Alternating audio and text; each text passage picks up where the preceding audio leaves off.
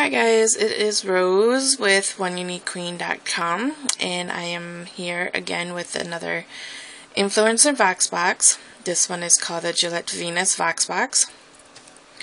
And inside we have the um, Influenster postcard.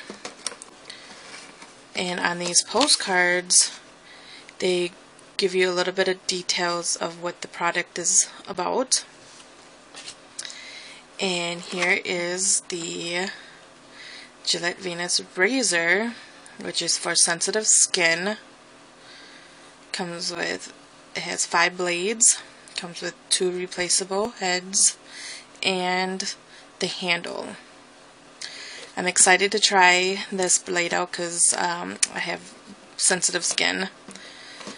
Um, so be on the lookout for my blog review. You can um, see that at oneuniquequeen.com.